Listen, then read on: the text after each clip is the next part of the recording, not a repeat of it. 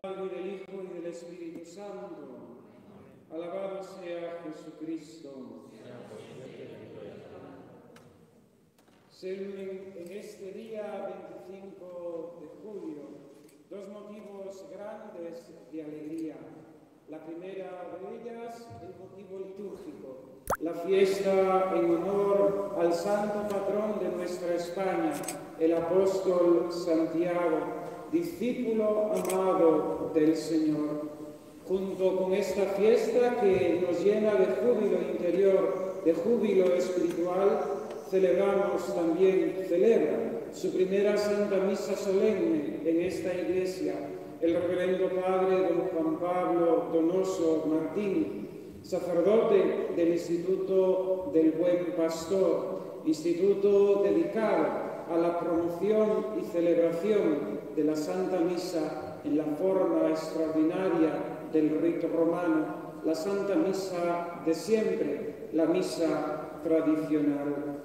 Sin duda alguna, estas dos celebraciones tienen una íntima unión. No es casualidad. Este apóstol, Santiago, el primero que da su vida por Cristo, derramando su sangre fue aquel que trajo la fe a nuestra tierra, España, el que sembró la semilla del Evangelio en nuestras tierras antes paganas, consagradas a los ídolos. Fue el apóstol Santiago el que a través de su predicación dio inicio a la fe católica que nosotros profesamos. Cuando en el credo cantemos eso de creo en la Iglesia una santa católica y apostólica, todos los católicos, pero nosotros españoles podemos sentirnos realmente muy orgullosos porque nuestra fe es católica, apostólica, recibida de los mismos labios de aquel a quien el Señor amó y mandó ir a anunciar a todas las gentes el Evangelio. El mismo apóstol Santiago, como el resto de los apóstoles, guiados por las enseñanzas y mandatos del Divino Salvador, instituyeron colaboradores suyos en la misión del Evangelio, obispos y sacerdotes, episcopos y presbíteros, para gobernar, apecentar, enseñar y santificar a su pueblo. Hoy no solamente celebramos el inicio de nuestra fe cristiana, sino que esta primera misa de don Juan Pablo es también un motivo para unirnos a esta realidad, a esta verdad de lo que la Iglesia es, Iglesia jerárquica, instituida por el mismo Señor y gobernada por los apóstoles y que ellos mismos, guiados por el Espíritu Santo, le dieron forma. Hoy celebramos la fiesta del sacerdocio, un hijo más, un hijo de Dios más que ha sido agregado a ese coro innumerable de sacerdotes que a lo largo de la historia han propagado, han continuado la obra redentora de nuestro Señor Jesucristo. Ese pensamiento del Padre Pío acerca de la Santa Misa, diciendo que podría existir el universo sin el sol, pero sin la Santa Misa desaparecería. La misa y el sacerdocio católico están indisolublemente unidos. Podría existir el mundo, podría existir el universo sin el sol, pero no sin el sacerdocio y sin la Santa Misa. Hoy, en este día de fiesta, honramos y celebramos la figura, la verdad acerca del sacerdocio católico instituido por nuestro Señor Jesucristo el jueves santo en la última cena.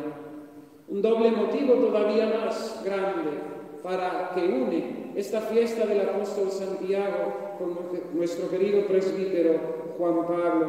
Y es que esa semilla que el apóstol Santiago sembró en nuestra tierra España y que a lo largo de los siglos fue creciendo y dando frutos santísimos en abundantísimos mártires, en confesores, en vírgenes que a lo largo de diez siglos hermosearon nuestra historia y son el orgullo, son el orgullo y el honor de nuestro pueblo. Finalmente, esa elección de España por parte de nuestro Señor para llevar el Evangelio a otro continente a todo un continente, a América. Nuestro hermano es natural de Chile. Y allí el Evangelio llegó diez siglos más tarde, quince siglos más tarde, pero llegó también por la predicación del apóstol Santiago.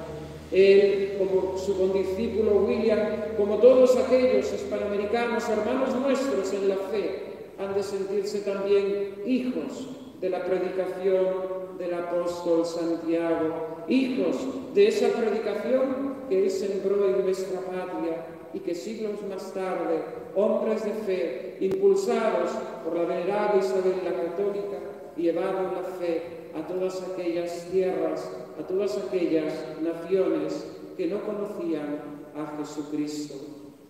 Nos dice el Evangelio de San Mateo al comienzo que nuestro Señor Jesucristo paseando por el lago se encontró con Pedro y Andrés y más tarde con Santiago y Juan. Vio a dos hermanos, Santiago el de Cebedeo y su hermano Juan, que estaban con su padre en la barca arreglando las redes y los llamó. Ellos, dejando la barca y a su padre, le siguieron. Santiago el apóstol, junto con el apóstol San Juan, como anteriormente Pedro y Andrés, todos los discípulos del Señor, fueron llamados y siguieron a Jesucristo. Pero al contrario de la costumbre judía de aquel momento, en la que los hombres que querían ser formados en la religión escogían el rabino que más les convenía o que más les convencía, en este caso, el grupo de los discípulos del Señor es elegido por el mismo Maestro, por el mismo Cristo. Es nuestro Señor Jesucristo el que escoge, es Jesucristo el que llama, es el Jesucristo el que invita a seguir su camino. Lo ha hecho con nuestro apóstol, lo ha hecho con los demás de los apóstoles, lo ha hecho a lo largo de los siglos con tantas almas a las que ha llamado a la fe. Vocación que muy particularmente se concreta y se hace todavía más grande en la vocación sacerdotal. Es este misterio de la vocación que se ha prolongado a lo largo de la historia. Qué grandeza la de Dios, que fija su mirada en pobres criaturas, en hombres débiles como somos cada uno de nosotros. Lo decía el apóstol San Pablo en la epístola de la Santa Misa de hoy. Vosotros fuertes, nosotros débiles, hombres débiles, donde Dios fija su mirada amorosa, donde llama e invita a seguir. Es Dios, es Dios el que llama, y esta es la gran novedad, la gran sorpresa, la gran admiración ante la cual no podemos más que estar en esta actitud de admiración y de sorpresa, porque Dios es Dios y nosotros somos pobres criaturas. Dios es el que llama. Qué hermoso queda expresado esto en la liturgia de la ordenación sacerdotal que nuestro hermano Juan Pablo recibía hace unas semanas en su seminario. Esa ordenación donde el obispo, en el canto de la letanía, por tres veces le pide a Dios nuestro Señor que se digne bendecir, que se digne santificar, que se digne consagrar a este su elegido. Es un misterio del amor de Dios. El sacerdocio, lo decía el santo cura de Ars, es el amor del corazón de Cristo. Es Dios quien llama, es Dios quien escoge, es Dios quien invita, es Dios el que a cada uno de nosotros nos dice, ven y sígueme. Y muy particularmente, esto que es a todos los cristianos es muy especial, muy particular en la vocación sacerdotal. La vocación no es un simple deseo bueno, no es la simple voluntad de querer servir a Dios y a su iglesia sería simplemente esto voluntarismo, sabiendo que es nuestro fin para el que hemos sido creados todos los hombres, conocer, amar y servir a Dios nuestro Señor. Pero la vocación no es simplemente este deseo, ni la vocación es una autoconciencia de la llamada, una introspección psicológica de que uno se siente elegido. Es mucho más que eso. Aquel que es llamado siente de una forma misteriosa la certeza de la elección, la certeza de esa divina predilección de Dios sobre uno que le llama. ¿Cómo explicarlo? No hay palabras humanas, no se puede. Además, dentro de la, de, la eh, variedad que existe en la vocación sacerdotal, cada uno es llamado de una forma totalmente singular y siente en lo profundo de su alma esa certeza que es comparable a la certeza que tenemos acerca de las verdades de la fe. La vocación sacerdotal no es tener capacidades, aptitudes para el desarrollo del ministerio. No hay, dirá el apóstol San Pablo, entre nosotros muchos sabios y entendidos. Dios ha escogido lo que no cuenta para anular lo que cuenta. Este Dios que se revelará a los sencillos y que detestará, se esconderá a los soberbios. No es en las facultades ni en los dones humanos que los podemos tener, y bendito sea Dios que son dones de Él, pero no radica aquí la capacidad, la vocación del sacerdote.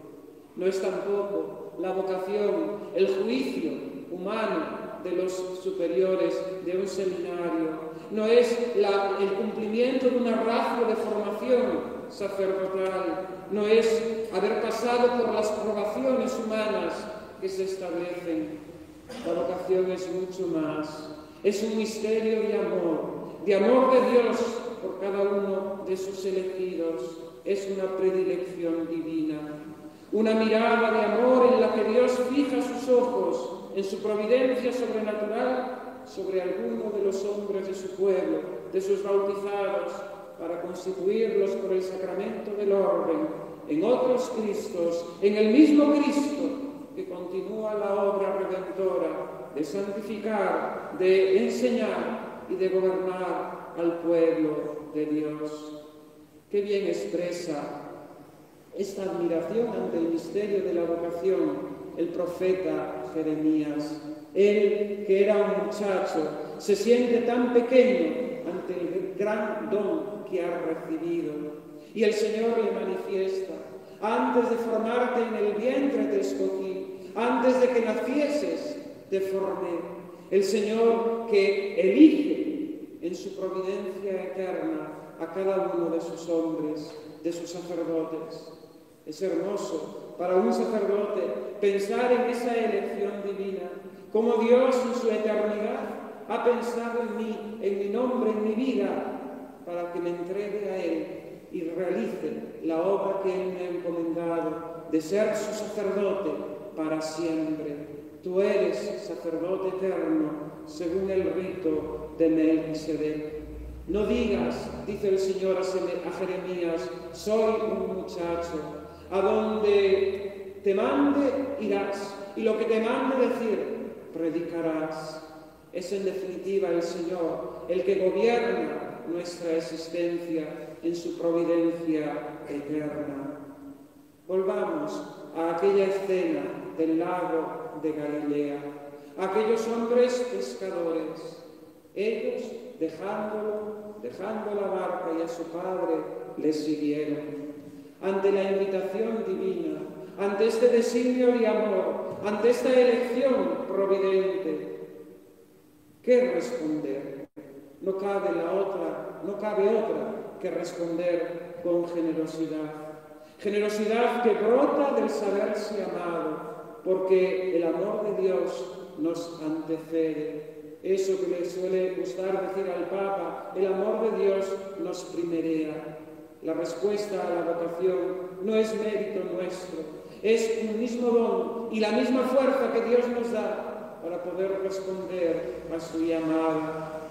Generosidad ante el descubrimiento de algo más grande que lo que podríamos nosotros imaginar, pues la vocación, tomando ese símil de la parábola del Señor, es esa perla preciosa por la cual vale la pena renunciar a todo y desprenderse de todo. Santiago, el apóstol, Juan, su hermano, Andrés, Pedro, todos los apóstoles, tantos hombres que sintieron la llamada a la vocación sacerdotal, han tenido que responder al Señor con generosidad. Ellos tenían sus planes, como sus planes tendría nuestro hermano, su familia, su trabajo, sus proyectos, sus deseos. Pero Jesús nos presenta, nos ofrece ser discípulos suyos, convertirnos en pescadores de hombres. Santiago tuvo que dejar su barca y tuvo que dejar a su padre. Juan Pablo, por seguir su vocación sacerdotal, tuvo que dejar su tierra, tuvo que dejar su familia, tuvo que dejar tantas cosas, su misma profesión, sus estudios, para seguir la llamada de Dios nuestro Señor.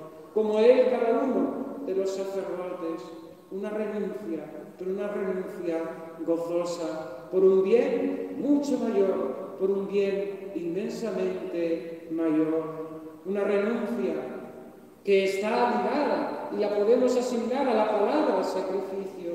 Lo decíamos anteriormente, el sacerdocio no se concibe sin la misa y la misa es el sacrificio y la vida del sacerdote es la misa y la vida del sacerdote es el sacrificio. Desde el primer momento de la respuesta del sí a nuestro Señor Jesucristo, el sacerdote comienza el sacrificio, sube al altar, a ese altar de la oración personal que se realiza sacramentalmente después en la unión con Cristo nuestro Señor en el altar. Una vida de entrega, una vida de renuncia. De esto sabe Él, porque por seguir también una liturgia, la liturgia amada de los siglos, esa liturgia que el Papa Benedicto XVI afirma sagrada y santa, querida y amada para las generaciones anteriores. Por ello, la renuncia ha tenido que ser mucho mayor. Una renuncia no solamente de patria y familia, de comodidades y de una situación más acomodada, sino también el ser marcado, el ser señalado tantas veces en una actualidad donde seguir, amar la Santa Misa de siempre implica ser rechazado, ser excluido. Tras cada sacerdote, tras cada vocación, se esconde el misterio de la llamada y también toda una historia de amor y de renuncia por parte del llamado. Pues bien sabemos que el que ama más a su padre o a su madre, a sus hermanos, a su familia, a su tierra, más que al Señor, no es digno de Jesucristo. Hoy, querido hermano don Juan Pablo, damos gracias a Dios por tu vocación, por tu respuesta, por tu sacerdocio. En él se, prolonga ese sí, ese seguimiento que Santiago, nuestro apóstol, hizo del Señor. En cada vocación sacerdotal se prolonga también el sí único y excelentísimo de la Virgen Nuestra Señora. Por el sí de la Virgen Santísima en la Anunciación vino Cristo al mundo. Por el sí de cada sacerdote, Cristo sigue viniendo al mundo a través de los sacramentos para darnos la gracia y otorgarnos la salvación. Los apóstoles, Santiago, dejaron la barca y a su Padre y siguieron al Señor. La vida cristiana es un discipulado, una secuela a Cristo, un seguimiento del Señor. El sacerdote no deja de ser un privilegiado discípulo del Señor y amado a vivir más íntimamente unido a Jesucristo y a configurarse de una forma más perfecta a Cristo nuestro Señor. Es cierto, el sacramento del orden, como el sacramento del bautismo, por sí mismo nos configura a Cristo. El sacramento del orden a Cristo cabeza. Pero no, debemos olvidar que somos discípulos. El sacerdote no debe olvidar su llamada y su vocación también a la santidad, a imitar en todo la vida del Maestro. El sacramento nos da la identificación y la potestad de obrar en nombre de Cristo, en persona Cristi, pero el sacerdote no debe olvidar que ha de ser santo para santificar a su pueblo. No podemos entender el sacerdocio como la llegada a un estatus social. Y aquí podemos entender bien el Evangelio de este día. Vemos a los cebedeos, a Santiago, nuestro apóstol, a su hermano Juan, acuden con su madre ante Jesús le piden, la madre intercede, Señor, haz que mi hijo mis hijos se sienten uno a tu derecha y otro a tu izquierda cuando establezcas tu reino. La tentación del poder, la tentación del estatus, la tentación de la carrera eclesiástica, la tentación de los puestos de poder, la tentación de la aceptación y de la vida regalada, la aceptación del aplauso, la tentación de la ascendencia social, el miedo, la tentación del miedo a la soledad y al rechazo. Muchas vocaciones se pierden, se estropean, se corrompen por estas seducciones del maligno. ¿Podéis beber el cáliz que yo he de beber? ¿Podéis pasar por el bautismo con el que yo me he de bautizar? Les pregunta el Señor. El Señor no rechaza la propuesta de sus apóstoles, sentarse uno a su derecha y otro a su izquierda, sino que la redirige. Así es nuestro Dios. Incluso de nuestras ambiciones, incluso de nuestras intenciones no del todo rectas, el Señor se sirve para hacer su obra. Y les pregunta, ¿podéis beber el cáliz que yo he de beber? En definitiva, el Señor les invita a renovar un sí confiado y consciente de la vocación que han recibido. El Señor ha confirmado su obra en nuestro hermano como en cada uno de, sacerdote, de los sacerdotes cuando el obispo impone las manos y reza la plegaria consacratoria. Dios lo confirma pero esa vocación hemos de renovarla cada día en nuestra entrega cotidiana, en ese sí que hemos de responder, en ese podemos, en ese pósumus que ha de responder cada sacerdote ante la pregunta del Señor, en esa invitación a beber su cáliz. ¿Podéis beber el cáliz que yo he de beber? Qué hermoso, nos responde la misma liturgia. El sacerdote antes de comulgar la sangre de Cristo, recita ese salmo del Antiguo Testamento compuesto por el rey David. Tomaré, tomaré el cáliz de la salvación e invocaré el nombre del Señor. Tomaré el cáliz del Señor. Es en definitiva un momento en la Santa Misa donde podemos tomar conciencia de esa renovación de nuestra entrega y de nuestro sí al Señor para vivir plenamente el don del sacerdocio recibido. El Señor, su respuesta, su pregunta a sus apóstoles no deja de ser provocadora. Quiere citar en ellos una respuesta consciente, una respuesta entregada y que con Él suban al Calvario, que con Él vayan a Jerusalén. Aquella otra vez en la que el Señor le dice, subamos a Jerusalén. Y el mismo Pedro intenta apartar al Señor de su misión, de su misión redentora.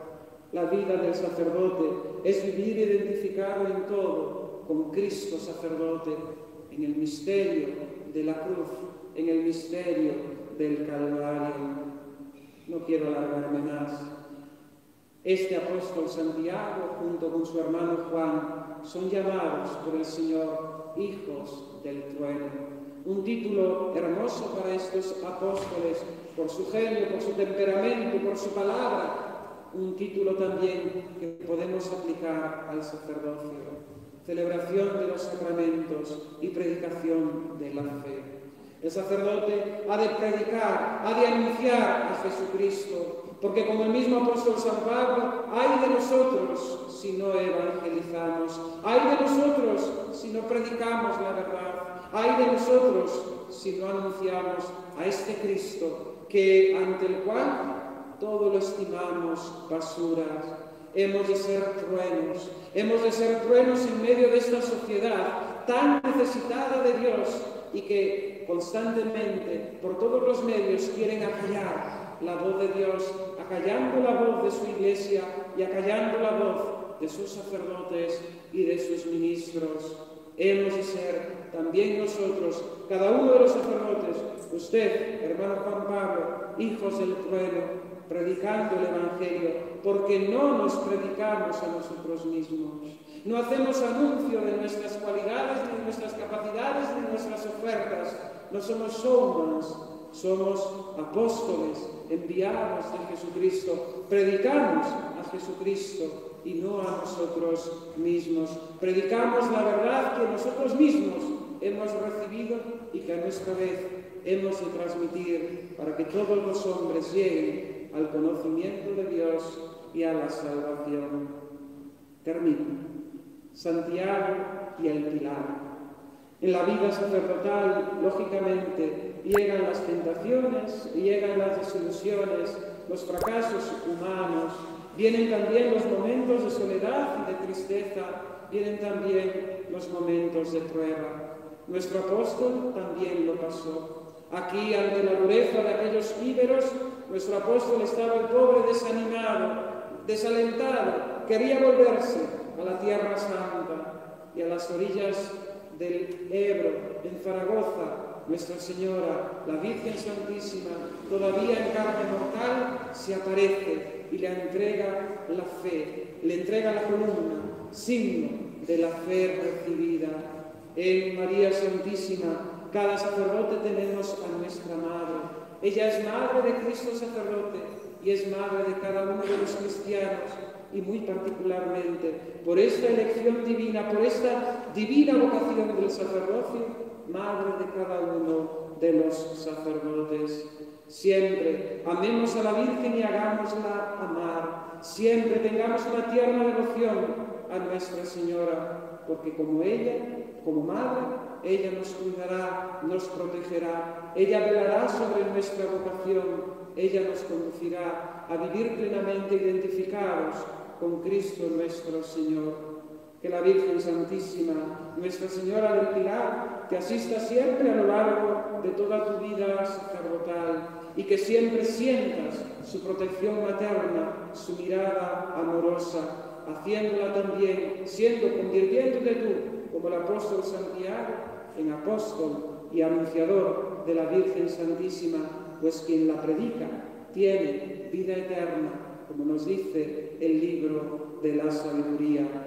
Muchas felicidades, enhorabuena, ad muchos años y siempre que tengas esta pequeña iglesia, al Padre Carlos, al servidor, a esta pequeña comunidad con la que has convivido también a lo largo de tus años de seminarista, pues que la tengas presente en nuestra oración, como nosotros tendremos a ti siempre presentes en la nuestra. Ad muchos años. En nombre del Padre, del Hijo y del Espíritu Santo.